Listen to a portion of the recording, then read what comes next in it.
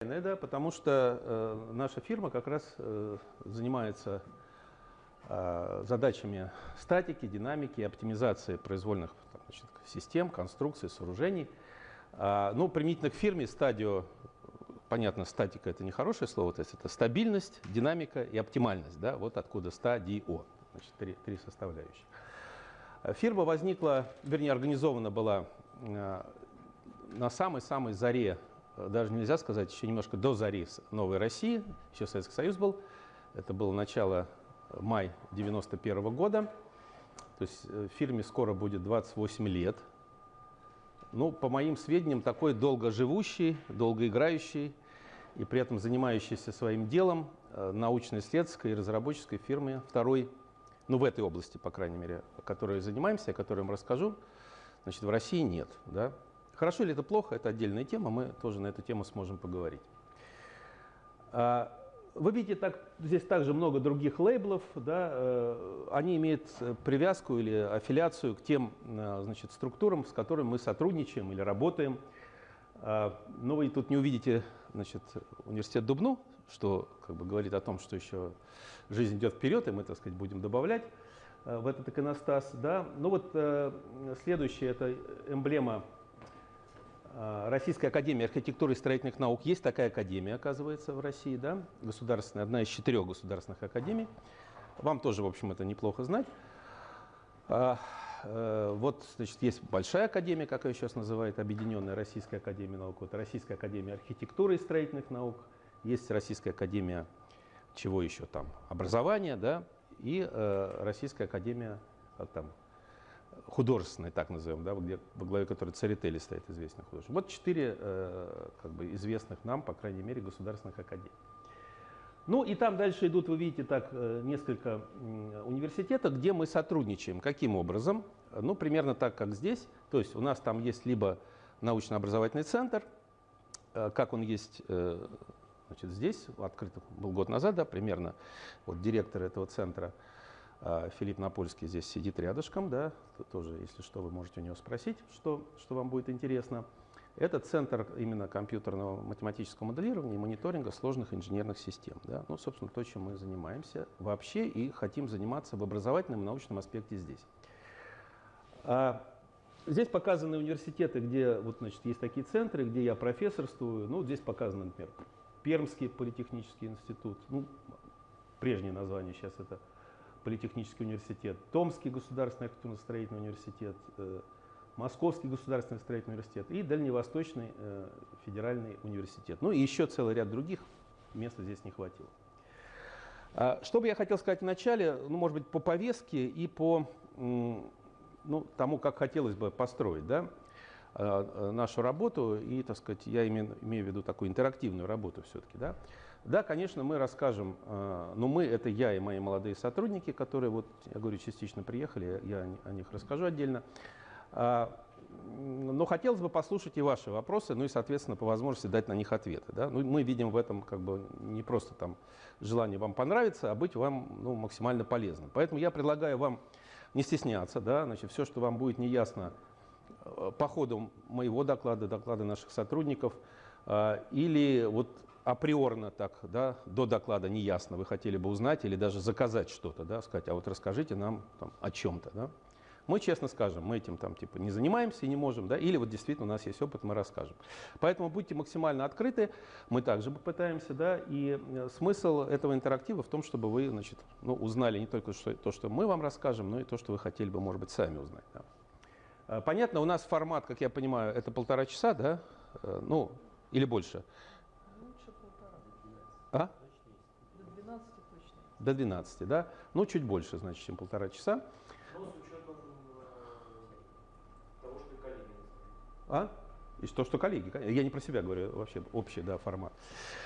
Вот, э, поэтому, э, значит, я не скрою, у нас есть определенная сложность такая ментальная, да, потому что мы обычно привыкли где выступать, ну это понятно, да, там в научных сообществах, на конференциях, там семинарах, ну перед своими коллегами.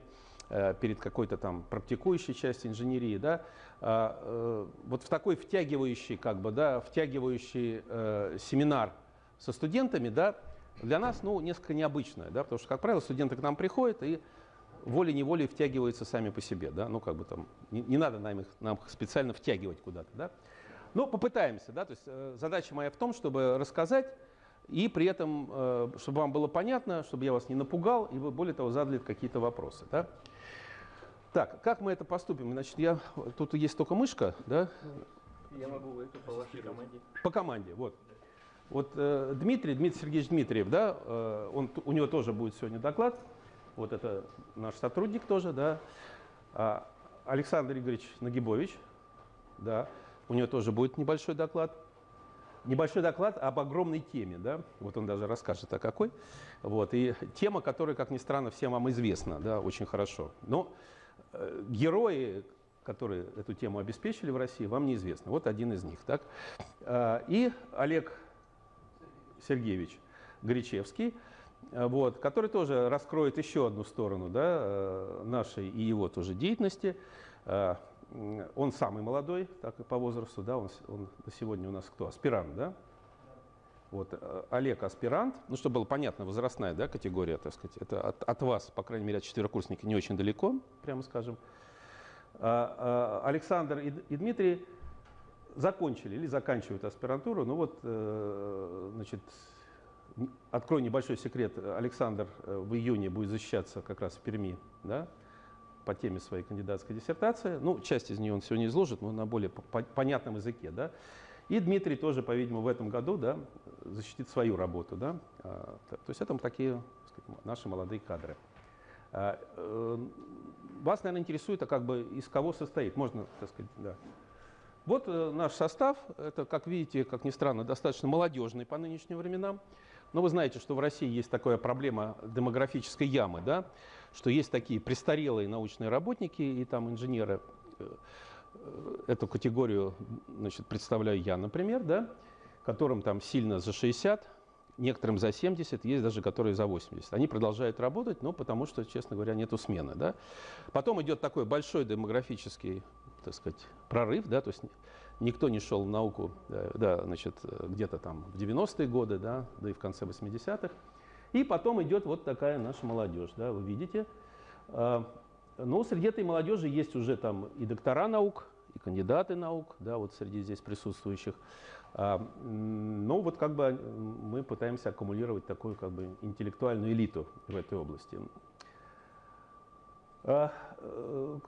Я уже сказал, что нам будет 28 лет. Вот к 25-летию э, значит, фирмы мы подготовили целый ряд мероприятий. Не буду об этом говорить отдельно, но в частности э, мы издаем книжки. Вот последние годы мы в год издаем по одной интересной книжке, да, каждый год по интересной книжке, которая имеет и такой общечеловеческий инженерный так сказать, характер, и, э, безусловно, образовательно учебный, то есть они все как бы индексированы, то есть их можно использовать в учебном процессе и монографические, да, то есть результаты наших исследований.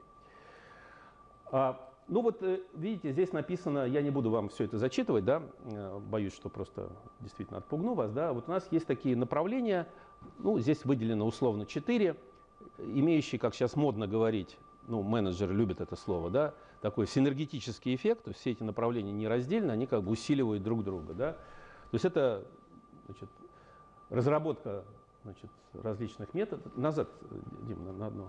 На одну. Ага, да. Это разработка, собственно, математических моделей э, и развитие численных э, методов, э, алгоритмов и программ, да, собственно, которые их реализуют для вот исследования таких сложных инженерных систем.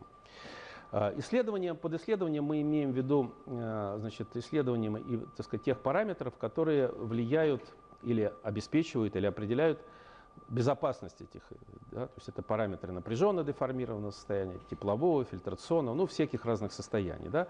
При э, полном комплексе нагрузок и воздействий, это могут быть статические, динамические, температурные, да, на всех этапах жизненного цикла. Да, ну, то есть от, условно говоря, изысканий, проектирования, строительства, эксплуатация, реконструкция – вывод из эксплуатации, ну, не дай бог, если что-то происходит с зданием в процессе там, строительства и эксплуатации, например, обрушилось, да, я не буду об этом говорить отдельно, мы были главными экспертами по расследованию причин обрушения Трансваль парка в Москве, Басманного рынка. То есть если обрушилось, мы также исследуем с помощью вот этих самых мат-моделей, численных методов, программных комплексов, а из-за чего это произошло. Да? с тем, чтобы не допустить такого впредь, да, ну и найти как бы и наказать виновного. Ну это я шучу, конечно. Вот, э, назад, назад, мы еще там не все, да. Вот. Далее это, собственно, вот развитие э, собственных, э, разработка развития собственных э, программных комплексов, мы о них тоже еще поговорим немножко, э, и э, верификация и применение э, зарубежных, ну в том числе зарубежных, таких мировых брендов, о них тоже можно поговорить будет, программных комплексов, ну таких мощных, которые являются лидерами в своих отраслях. Ну вот прежде всего вот в отрасли математического численного моделирования задач механики, да, ну или задач вычислительной механики, назовем так. Это такие программные комплексы. Ну, наши это стадию Астронова, мы об этом поговорим. А мировые лидеры это Энсис, Абакус, Диана. Ну, это вот как бы для, у всех профессионалов, они на, суху, на слуху. А, они достаточно дорогостоящие, достаточно сложны а, в освоении, но позволяют, они называются тяжелыми поэтому, да, а, но позволяют решать задачи в такой серьезных науч, наукоемких постановках, да, на которые, может быть, другие программные комплексы так сказать, э, замахнуться не могут. Да. Ну, следующее, третье направление, да, условно, опять повторяю, это выполнение наиболее сложных э, расчетных исследований с помощью вот этих методов, алгоритмов, программ, э, э, объектов особо ответственных, уникальных, э, требующих вот такого серьезного научного подхода. Да. Это и атомные станции, и гидроэлектростанции, гидроаккумулирующие станции, это всякие там недоскребы, как мы их ласково называем, да, сейчас вы знаете, в России их довольно много, ну, в Москве, там не только в Москве. А, это всякого рода большепролетные сооружения, э, ну вот в частности Александр будет рассказывать о большом классе таких последних наших да, большепролетных сооружений. Это стадионы к чемпионату мира по футболу, вот, который прошел в России в 2018 году. Это потребовало очень серьезных таких исследований. Вот. Э, э, ну и целый ряд других. Да, и целый ряд других. Ну и, наконец, э, то, чем мы занимаемся вот как бы здесь и сейчас, это вот научно-образовательная деятельность, да, ну или мы сейчас фрагментом ее занимаемся, да, то есть это подготовка молодых кадров, да, там студентов, магистрантов, то есть бакалавров, магистрантов, специалитет, аспирантура, докторантура, выпуск вот как раз э, всех этих монографий и учебных пособий, а, публикации в научных журналах. Собственно, мы сами являемся спонсорами ряда таких научных журналов и организация различных международных и российских симпозиумов, конференций, которые мы тоже спонсируем, то есть являемся их организаторами. Так, можно идти дальше. Э, ну, тут у меня есть раздел из нескольких слайдов, который вызывает наибольший интерес у специалистов, так скажем, да. А, Надеюсь, мы когда-нибудь через несколько лет, может быть, этим или другим составом э, здесь присутствующим сможем и эту тему более внимательно затронуть. Да? Но сегодня, я повторяю, не хочу вас пугать. Э, поэтому может быть и быть уверены, что все те задачи математического моделирования, которые сегодня стоят на острие да, вот обоснования безопасности зданий, сооружений, комплексов там, и э, сложных систем, они значит, нами решаются. Ну, здесь опять же несколько фрагментов приведу из э, работ еще, так сказать, и советских времен, да, как бы жизнь, понятно, началась. На, на один слайд раньше, да, можно?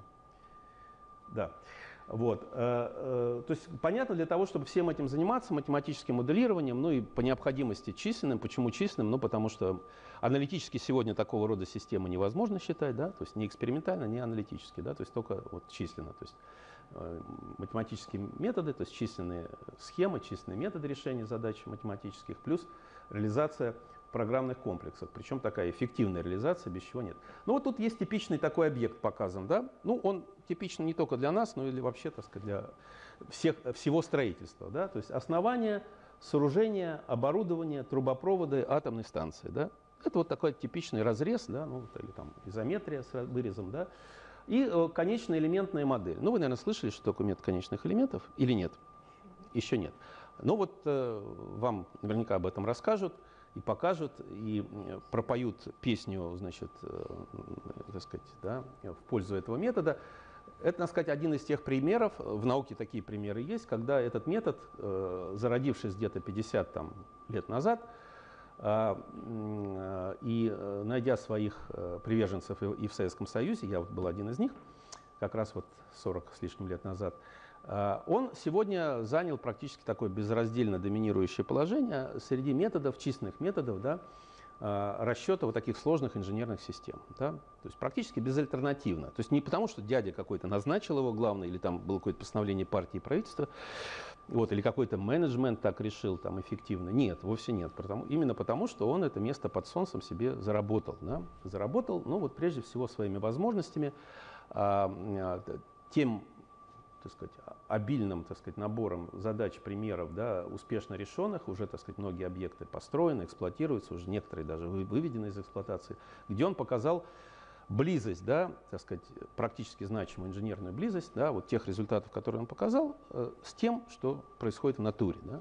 Ну вот здесь как раз показана такая конечная элементная модель, вот сетка конечных элементов объемных, да, и разного типа, да, и те нагрузки, включая сейсмические, которые действуют. То есть мы, видите, что мы решаем, или, так сказать, говорим о том, что в ряде случаев надо решать комбинированно связанную задачу, не только основания, не только сооружения строительной конструкции, не только оборудование, не только трубопроводы, а как они есть на самом деле, комбинированная система. Так вот, в рамках метода конечных элементов тоже есть много ответвлений, да, много всяких там схем, Одна из самых мощных, и которую мы развиваем уже более 40 лет тоже, это так называемые суперэлементные подходы. Но применительно к динамике это называется метод динамического синтеза под конструкцию. Запомните, как красиво звучит. Да? В любом обществе, если вы это произнесете, ваша цена сильно увеличится, вы можете быть уверены. Вот. Э, но пока это просто слова, на самом деле это, за этим есть вот здесь показанные фрагменты математики, да, которые за этим есть матричные, да, которые позволяют решать задачи вот в такой э, комбинированной, связанной постановке, при этом, что каждый из конструкторов занимается, предположим, расчетом своей части. Тот, кто занимается основанием, занимается основанием, кто строительными, строительными, э, оборудование, оборудование, трубопроводы, трубопроводы, но вот с помощью этой суперэлементной э, или динамического синтеза под конструкцией процедуры можно так сказать, обеспечить каждому работу независимо и потом сшивание это все в одну модель. Этот подход используется отнюдь, конечно же, не только. И начинался он опять не, вот скажем, с сооружений, а, система основания сооружения оборудования. Да? Вот он первым а, ну, в мире, и мы тоже в этом участвовали, просто занимались этими объектами, был использован а, в ракетно-космической области – а, ну, вы спросите, а в каких задачах он мог быть использован? Ну, представьте себе, да, и это на самом деле так, говорю о нашем опыте, да, вот Международная космическая станция Альфа, да, которая вот уже давным-давно, сколько там, ну, лет 20 ми минимум, да, уже летает там, да, много, много там экспедиций туда, вот сейчас недавно тоже запустили. А, она состоит из множества блоков, да, э, которые, часть из них были запущены сразу, потом другие были дозапущены и пристыковывались. Каждым из этих блоков занимается своя страна, более того, внутри страны своя компания, да, она ничего не знает практически о других блоках, да, а вся система живет совместно, да, значит, она испытывает нагрузки, откликается на эти нагрузки, там, в статике, в динамике, при выведении на орбиту, на орбитальной деятельности, да. Вот. Как обеспечить вот, э, сказать, правильный расчет такого сложного значит, инженерного, такой сложной инженерной системы? Вот оказывается, опять же, метод динамического синтеза под конструкцией. А, которым, повторяю, мы уже занимаемся почти 40 лет, а, он позволяет вот такой подход реализовать. Да? А, что каждый как бы занимается своим делом, разработчик, конструктор, исследователь, расчетчик, да? но от всех остальных ему приходят некоторые сигналы в виде матриц влияния, да, которые указывают, как значит, будет пристыковываться его модель к другим, другим подмоделям. Да, и это позволяет собрать общую модель и получить ее там, статику и динамику, ну, в частности, при орбитальной деятельности. А, поэтому, э, видите, тут есть такие как бы переклички и взаимопроникновения, да, или как там говорят э, политологи, конвергенция, да, значит, разных отраслей друг к другу. Вот как бы более передовая, предположим, да, значит, ракетно-космическая или аэрокосмическая область, вот, она как бы там это зародилось, и сейчас это потихонечку, потихонечку, но проникает и в другие отрасли, да. Следующее. А, тоже задача во многом, как ни странно, похожая, хотя, как видите, немножко другая. А, вот э, Дмитрий Сергеевич как раз эта тема, по сути дела, его кандидатской диссертации. А в свое время это была, ну, в другие времена и в другой постановке тема моей докторской, ну, часть моей докторской, да, лет 20 с лишним назад. Это вот такая тоже, видите, связанная сложная система, основания, плотина, водохранилище да, при э, сейсмических воздействиях, да, потому что понятно, что такие сооружения строятся обычно в горных районах, которые обладают повышенной сейсмичностью. Ну и надо понять, а что же произойдет, да, если что-то ну, ударит сейсмическое воздействие, да, как это все будет работать. Да. Имея в виду вот такие разнородные, а, разнородные системы, да, то есть тут, тут может быть основание, ну, как правило, это скальное или там какое-то скально там глинистое основание, плотина, как правило, бетонная, да еще с какими-то швами, с какими-то контактными, контактом с э, берегами. И водохранилище – это вообще механика жидкости и газа, это уже, так сказать, совсем другая. И надо это все посчитать совместно, да? как это будет работать. Но вы спросите, а э, неужели это опасно? Неужели это опасно? Да, очень опасно, потому что вот такие сооружения, э, ну вот, например, гидротехнические, да, могут достигать высоты 200, а там иногда до 300 метров, да. Вот ну, у нас и в России, и в Советском Союзе такие тоже есть. Вот. И э, если там что-то произойдет, то смоет практически все, что снизу, да, на протяжении многих десятков, если не сотен километров.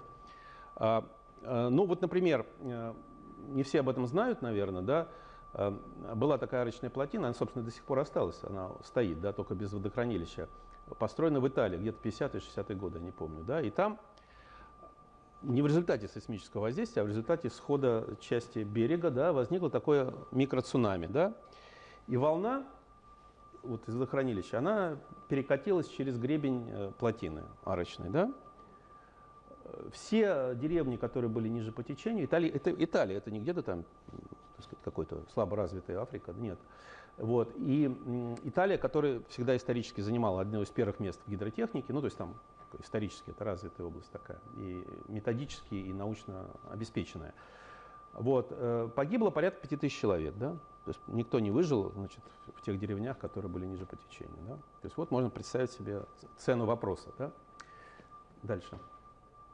Ну, здесь показывается, да, здесь показывается, что учитывается здесь также и нелинейные эффекты, ну, в данном случае эффекты трения и контакта и трения вот на этих швах, вот, которые там показаны, да, то есть это тоже очень важный фактор, да, учитывать нелинейные эффекты в тех случаях, когда они значимы, да, а каждая нелинейность, уход от линейных приближений, это определенный вызов, да, мы никогда не знаем заранее, а, насколько хорошо у нас сойдется задача, да, но вот есть задачи, в которых учет этих факторов совершенно необходим. Дальше. Ну, мы уже говорили о основании. Основания бывают самые разные. Э, более того, из строительных конструкций, сооружений, это то, как правило, за что человек не отвечает, это то, что Богом дано. Да? Ну, там основание может формироваться миллионы лет, там, десятки тысяч лет. И нам надо правильно учесть его вот в работе. А, в работе всей системы. Здесь э, также разрабатываются математические модели основания. Их нету э, грунтового основания, их нету одной на, на все случаи жизни, более того, их много. Они все достаточно сложны. И э, ну вот, реализация таких нелинейных реологических, то зависимых от времени, от, от истории нагружения моделей, это как бы очень сложная задача. Да? Ну вот здесь показан опыт нашей как бы, реализации такой, одной из таких моделей в нашем программном комплексе Э, стадию, то, что мы использовали для одной из, э, гидротех, одного из гидротехнических сооружений. Ну, более того, по российским меркам недалеко от Дубны находящейся, это Загорская гидроаккумулирующая станция, это подмосковное сооружение. Ну, вот э, что на сегодня э, представляет э, комплекс программ, которые мы вот разрабатывали, э, значит, развиваем сегодня – у которых довольно много пользователей по России, ну сотни да, пользователей по России, сотни имеется в виду корпоративные пользователи да, в организациях. Э, это вот универсальный программный комплекс Stadio, конечноэлементный, и э, его специализированные ответвления, но самая из них такая коммерчески успешная, это Астронова, э, это прочностной расчет трубопроводных систем да, самых разных отраслей. А каждая отрасль регламентируется соответствующими нормами, да, в России, по крайней мере, так. Атомная энергетика, тепловая, нефтехимия, нефтепереработка, тепловые сети, магистральные трубопроводы, трубопроводы высокого, сверхвысокого давления и судовые трубопроводы. Да, вот 6 или 7, я уж не забыл, значит, таких отраслевых ветвей, э, которые позволяют значит, оценить прочность трубопроводных систем, произвольных, разветвленных разных отраслей. Дальше. Это мы пропускаем объекты, тоже пропускаем и тоже пропускаем. Ну, тут немножко съехало, э, съехали шрифты, но я расскажу все-таки об этом. Да? А, ну, надо понимать, я об этом уже немножко сказал, э, собственно, какими программными комплексами мы пользуемся, да, э, для того, чтобы вот исследовать такие сложные системы, системы строительства, машиностроения, ну и там далее по списку, он может быть продолжен, конечно. Да. Ну вот в первой колоночке, да, вы видите, в первой графе, то, что мы называем тяжелые универсальные комплексы программ. Да. Ну вот тяжесть их мной уже была определена, они дорого стоят, много чего умеют, э, тяжелые в освоении, но, как это сказать, легки в бою. Да? То есть, грубо говоря, их можно и нужно использовать для сложных, как у нас принято говорить, наукоемких задач. Вот, э, то есть из пушки, из этой пушки по воробьям стрелять не надо. Да? Вот если у вас воробей, да, то лучше их не использовать, другие можно. Итак, э, в этом, в этом колонке представлены три программных комплекса. Они, безусловные лидеры мировые, мировые лидеры сегодня. А, ну вот в области такого наукоемкого тяжелого софта вычислительной механики, они, я думаю, тяжелого софта, они занимают процентов 80, наверное, если не все 90. Да? То есть они этот рынок делят. Это программный комплекс ENSYS, Abacus и Nostran. Ну, ENSYS и Abacus мы как бы владеем, более того, мы, мы их э, верифицировали, то есть подтвердили их а, возможности применительно к расчету и э, э, значит, машиностроительных и строительных конструкций. В детали не буду входить, там их много. Вот, э, это вот мы активные пользователи, ну особенно ENSYS. Причем вот я обращаю ваше внимание, что там есть целый ряд разделов в этом ENSYS. ENSYS Mechanical – это механика деформированного твердого тела и конструкции. Да? ENSYS CFD, а, ну, CFD, наверное, тоже кое-кто знает из вас, как расшифровывается, да, это Computational Fluid Dynamic, да, то есть это гидрогазодинамика вычислительная, да. Это задачи механики жидкости и газа. Ну, как, какие именно задачи, мы сегодня тоже об этом расскажем, покажем, да. Но вот вы видите, что такие достаточно разнородные задачи. И связанные задачи, там, где мы должны решать и задачи механики жидкости и газа, и механики конструкции совместно, да, где не можем их разделить друг от друга. Да. То есть, когда не только поток жидкости газа влияет на конструкцию, но и деформированная конструкция э, настолько сильно видоизменяет поток, что мы не можем это, этим пренебречь. Вот тут возникают эффекты, наверное, многим из вас тоже на, на слух известные, типа флаттера, галопирования, бафтинга и так далее, которые вот там зачастую приводят к автоколебательным процессам, ну и, как следствие, возможно, к разрушению да, каких-то объектов. Повторяю, детали будет потом.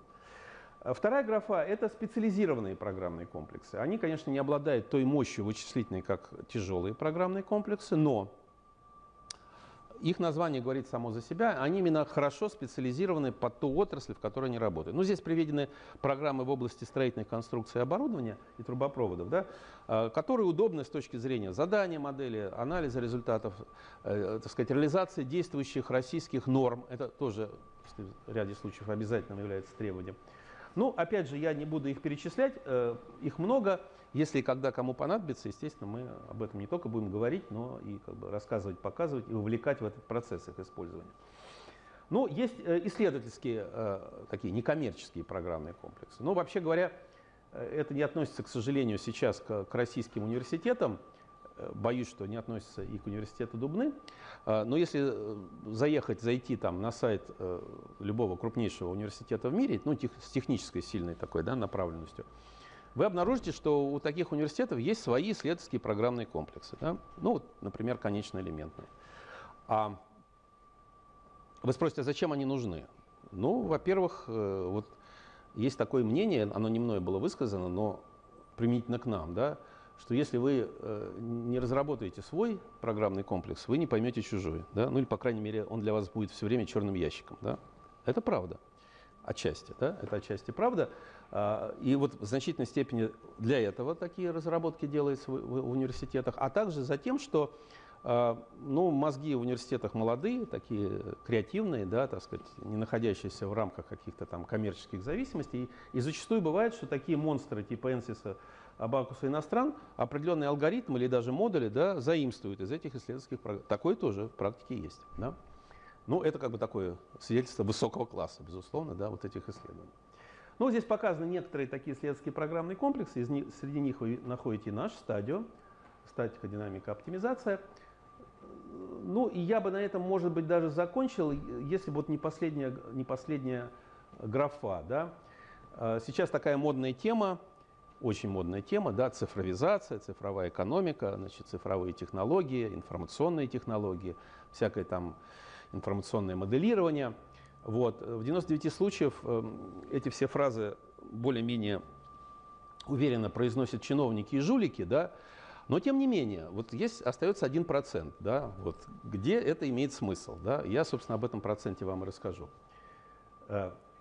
Особенно любят эти, эту пассаж слыш, слышать эти, из моих уст вот эти чиновники и жулики, да, когда я им говорю, они радуются очень.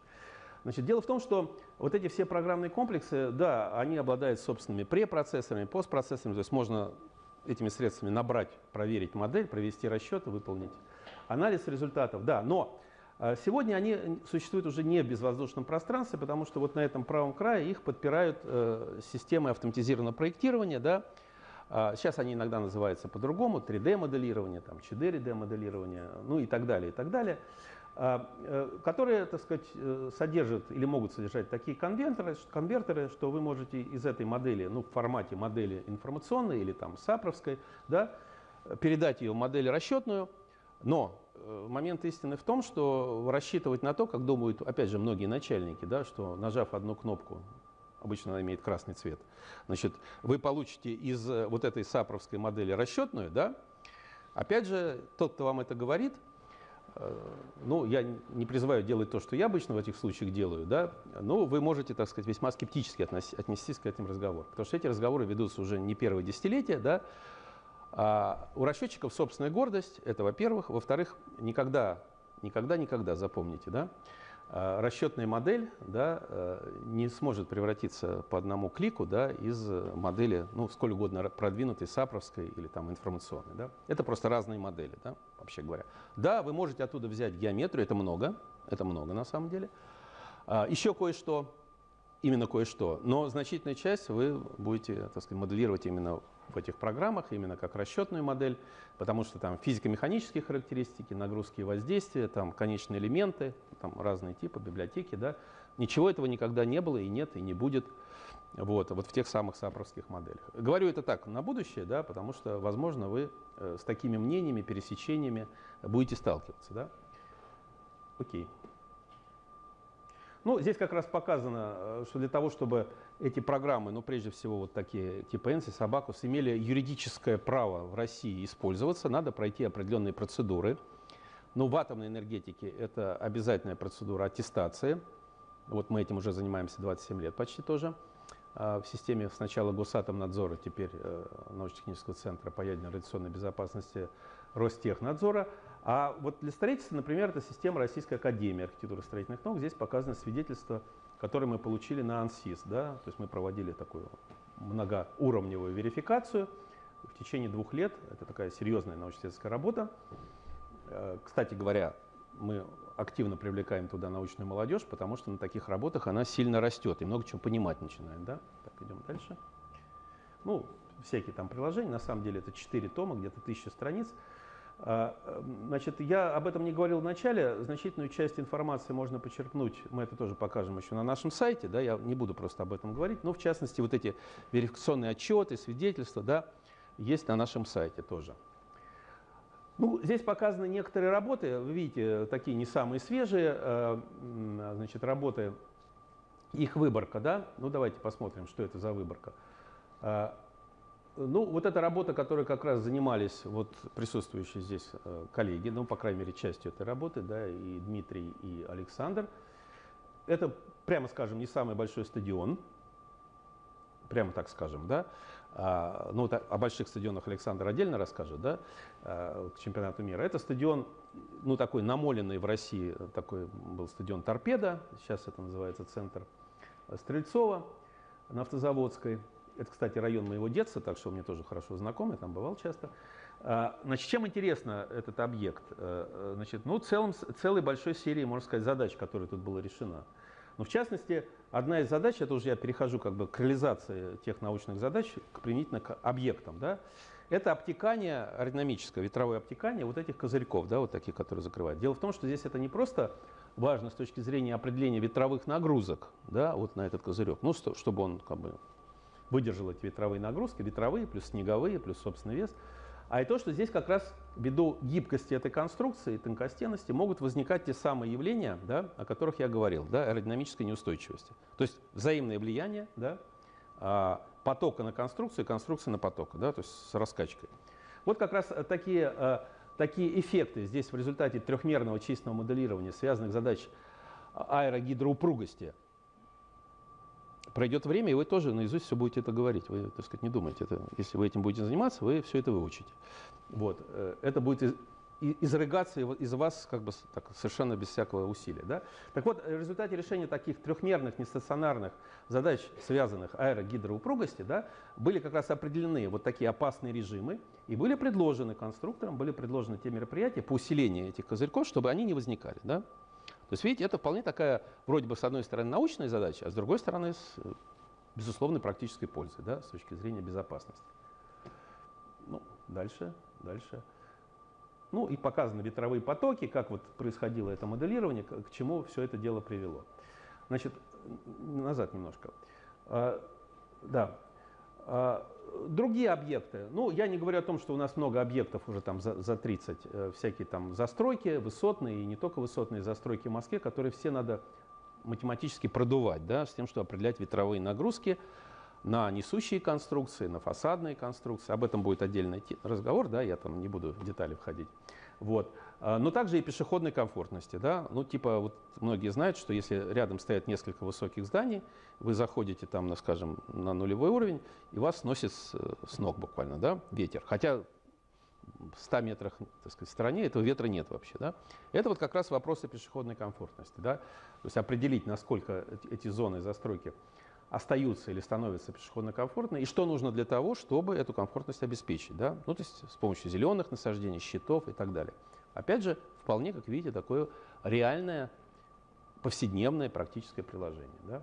Ну, а здесь показана другая задачка, ну, она вроде бы тоже, ну, вроде бы кажется такой странной, да, это весь э, пересадочный, э, транспортно-пересадочный узел, это пересечение э, проспекта, Кутузовского проспекта, да, третьего кольца э, и железной дороги. Вот такой сложно решенный пересадочный узел такой, да. Там и метро, и э, Московская кольцевая дорога нынешняя, вот это, так сказать, да, железнодорожная.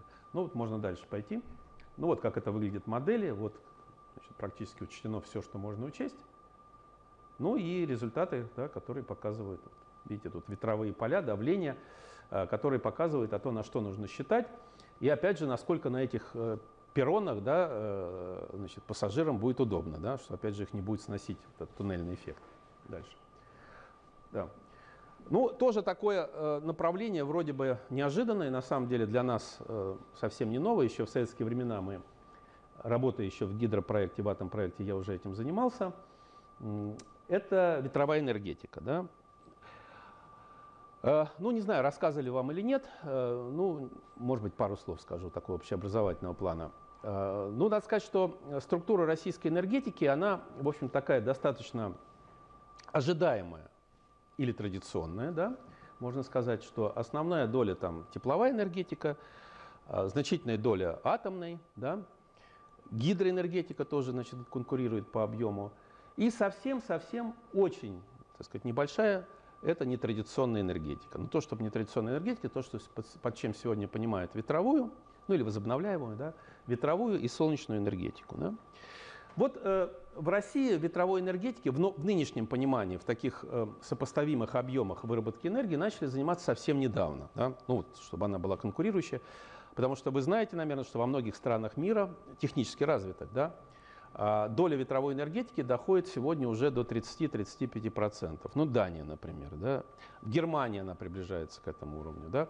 То есть в тех странах, которые отказались или там снижают уровень а, загрязняющей энергетики, ну, такой, как тепловая, например, или опасной энергетики, такая, как ядерная, атомная энергетика. Да? То есть многие страны, особенно после Чернобыля, а, вспоминаем 86 год в Советском Союзе, да, после Фукусимы, Япония, 2011 год, многие страны свернули развитие атомной энергетики. Другие страны, наоборот, да, как бы больше усилий вкладывают Россия, в том числе в увеличение, как бы, усиление безопасности да, и за счет этого развития да, нового поколения.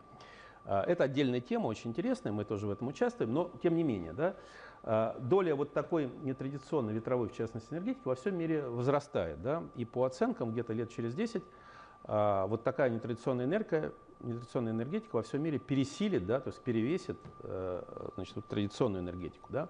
Россия здесь в этом смысле а, плетется в самом хвосте да, мирового тренда. Ну, есть этому объяснение, по крайней мере, наши правительственные чиновники их выдвигают, что у нас очень много ресурсов, очень много значит, углеводородов и так далее. То есть мы как бы можем себе это позволить, да, а, а, топить небо ассигнациями. Но, с другой стороны, это тоже когда-то закончится. Поэтому вот первые такие объекты, они появляли, появились в России буквально вот прошлом году и позапрошлом году. Это Ульяновской области, первые два ветропарка.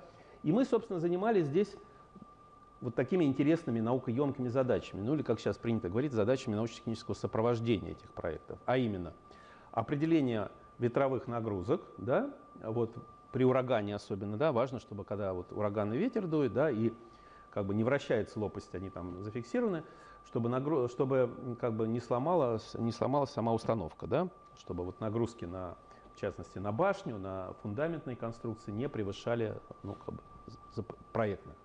Вот для того, чтобы определить эти нагрузки, решаются такие задачи аэродинамики нестационарные, и значит, определяются эти нагрузки. Дальше. Да, и второй, второй класс задач, э, тоже связанный, да, это э, резонанс такой механический. Дело в том, что лопасти, это уже такой обычный режим работы, лопасти, когда вращаются, ротор вращается, да, э, за счет дисбаланса, возможного дисбаланса ротора, да, возникает такая неуравновешенная нагрузка. Если эта динамическая нагрузка Э, ее частота, да, вынуждающая, близка одной из значимых собственных частот этой системы, возникает резонанс. Ну, то, что мы понимаем. И, значит, все очень плохо, да. Были ли такие случаи в природе? Были. А, значит, опять же, для того, чтобы отстроить эту систему на стадии проектирования да, математическими методами от резонанса, нужно вот э, провести такой анализ механической системы и посмотреть, насколько наши собственные частоты системы далеки от частот воздействия. Ну, это как бы вторая сторона нашей работы. Дальше. Дальше. Ну, значит, последние годы э, вот такой ветровой обдувки математической подвергаются не только там здания, сооружения, вот такие гражданские, высотные, большеполетные, но и особо ответственные. Ну, здесь показана э, модель для э, шахты, да, так сказать, рудника такого, где-то там, по-моему, риск никеля или что-то в этом духе вот откуда Саша родом, да, значит, что-то вот, по-моему, здесь. То есть тоже вот мы проводим такой анализ, показываем, какие нагрузки воздействия, ну и, значит, потом это как исходные данные, как э, расчетные нагрузки, а, вносятся в модель для расчета напряженно-деформированного состояния, оценки прочности и несущей способности. Дальше. Ну, это вот как раз картинки, да. Ну, про трубопроводы я уже говорил. Вот вы видите сложные трубопроводные системы. Так, идем дальше. Эта тема, которую я сейчас не буду так сказать, да, трогать сильно, потому что не хочу от, отнимать хлеб у значит, Дмитрия. Да, это вот как раз система мониторинга, как мы их видим.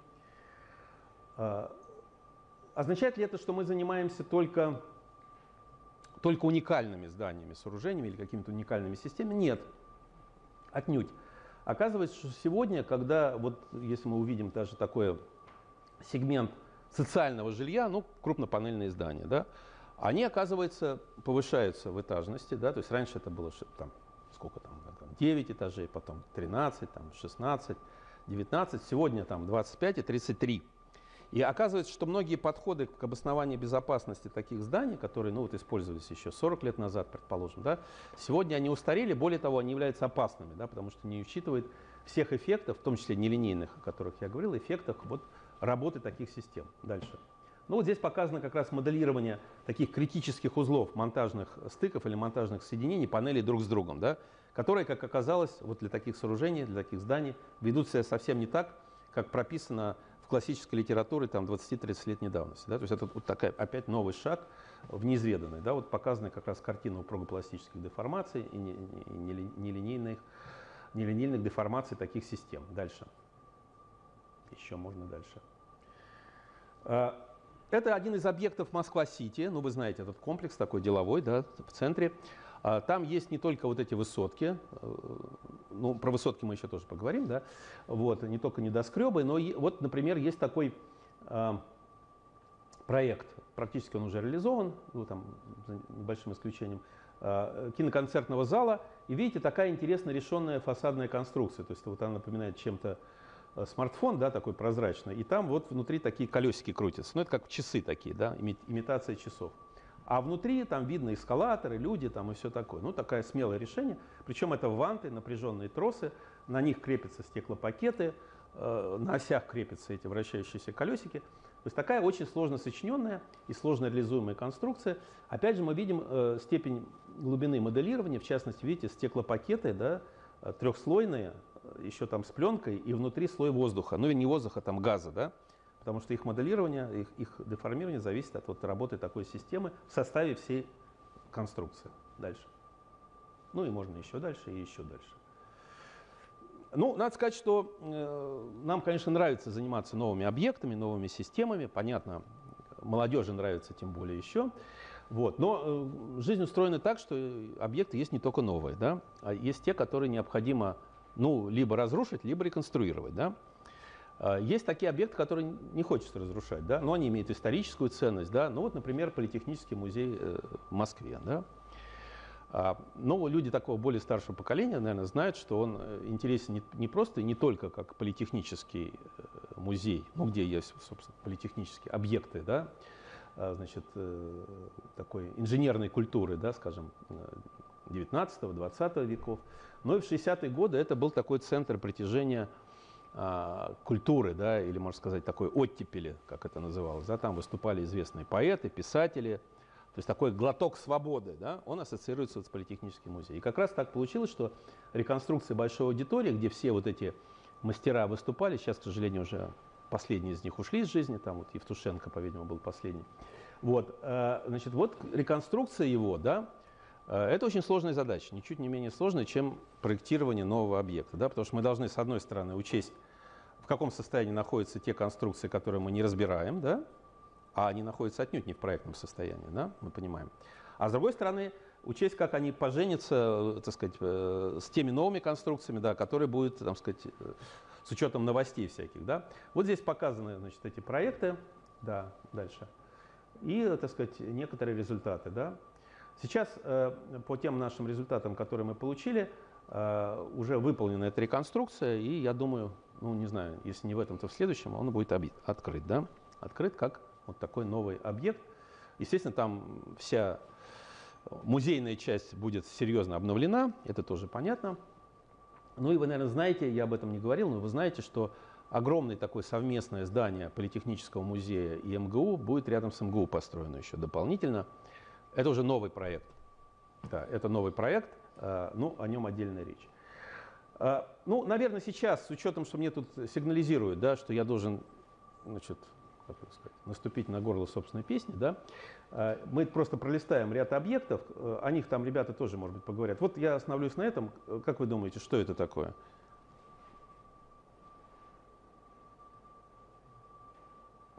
Есть какие-то мнения? Значит, смотрите, в России какое самое высокое здание сегодня, как вы думаете? Как самое высокое? А? А, но это сооружение скорее. Здание, я имею в виду там, где люди там, как бы могут жить, там, работать, там еще чего-то. Да, самое высокое, если говорить о сооружении, это Останкинская башня, 540 а, метров. Я как раз живу рядышком там, да, так что наблюдаю, в том числе наблюдал, когда там была, был пожар, да, и там выгорела значительная часть вот тросов, которые там имели несущую часть, способность, да, но тем не менее, слава богу, устояла, да.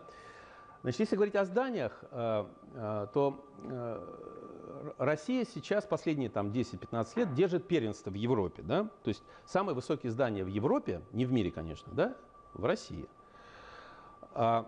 Ну, вот э, до последнего времени это были здания Москва-Сити, да, ну, в частности, башня Федерации, 375 метров, да. А где-то год назад, ну, чуть меньше, введена в эксплуатацию, по крайней мере, строительная часть, и перехватила пальму первенства. Это Лахта-центр, ну, вы наверняка слышали, в Санкт-Петербурге, на побережье Финского залива. 462 метра, так, 462. Это не 540, но как в остальном, но все-таки, да. Ну, а э, следующее по высоте э, будет строиться сейчас, мы просто тоже занимались этим объектом, это Ахмат Тауэр в Грозном. Что характерно, в сейсмоактивном районе. То есть там очень сильные нагрузки сейсмические, 9-10-бальные.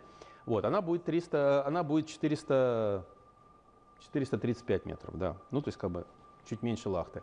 А вот это третье по величине, то есть самая высокая в Москве и третье по величине э, значит, в Европе стало быть, да. И тоже в Москве-Сити проект, вот мы занимались в прошлом году им, э, это 400 4, 4-метровая значит, башня, 108-этажная. Это самое высокое жилое здание. Это жилое здание будет. Да? То есть кто-то на 108 этаже, может быть, захочет купить квартиру. Ну, я вам не предлагаю, но вот вдруг, значит, да, когда-нибудь. Так, дальше. Вот результаты расчетов, то есть мы это тоже все делали и проходили. Про стадионы, значит, тема отдельная, да, Саша вам расскажет. Это вот как раз наша, мы, так сказать, получаем в прошлом году самую высокую в строительной отрасли золотую медаль Российской Академии за вот этот комплекс расчетов и расчетных обоснований стадионов чемпионата мира по футболу. Ну, вы знаете, что эти, э, чемпионат мира прошел, ни один из стадионов не упал, да, сильно не разрушился, несмотря на толпы фанатов там, значит, и прочих неблагонадежной публики. Вот. Э, но, разумеется, э, эти проекты делались не ради только чемпионата мира, да, то есть им предстоит еще как минимум 50 лет, да, а то и 100 значит, службы. Вот, э, и работы в режиме уже не FIFA, а наследие, но это отдельная тема. И тема в том числе мониторинга, да, о котором вот будет говорить, наверное, в следующем Дмитрий. Ну, на этом я бы хотел пока да, поставить точку или многоточие. Если есть ко мне вопросы, да, пожалуйста, я вам говорил и предупреждал, и призывал вас да, задавать вопросы, потому что в этом смысл. Да? Насколько вам интересно, неинтересно. Здесь говорилось, и говорилось правильно, что э, значит, те из вас, кому кто как бы увидит свое будущее вот в этих занятиях, в рамках той же инженерной школы э, университета, да, и э, кто захочет пройти у нас э, летнюю, это практика называется, да, в стадию, а, значит, как говорится, welcome, мы приглашаем, да, а, да, вас будет немного, вот, э, но значит, вам будет уделено соответствующее внимание. То есть вы будете проходить практику, тренируясь, как говорилось в известном фильме, не на кошечках, а на реальных объектах, вот, с реальными значит, э, исследователями, да, то есть как бы понимая, почем фунт лиха. Да, это очень важно. Итак, вопросы. Без стеснения. Что нужно? Ну, понимаете, я пока, я сказал об этом и могу повторить, я пока слабо представляю вообще вашу базу, да, вот что вы прошли, что вы не прошли. Значит, если говорить о, о, о таком, о портрете идеального практиканта, да, портрета, ну, такого не существует идеального, это понятно, вот такого идеального. Ну, это человек, который обладает, э, или там прошел, по крайней мере, здесь э, соответствующий курс фундаментальных дисциплин, да, это механика деформированного твердого тела, ну, теория упругости, механика жидкости и газа, это численные методы, да, это там метод конечных элементов. А, ну, хотя бы это, да, вот хотя бы. Это не так мало на самом деле, да, хотя бы это.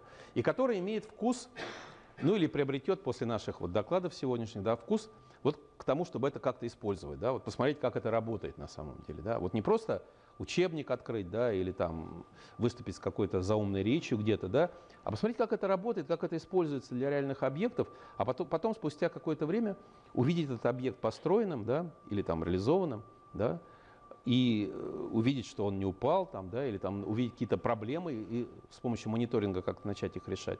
Вот э, как бы портрет такой, да. Но прежде всего, конечно, заинтересованность, да, прежде всего заинтересованность, потому что это на первом месте, я считаю.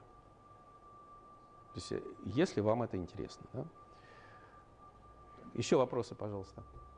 Можно уточнить э, один из аспектов подготовки. Например, мы здесь разные сидят кафедры направления. Да.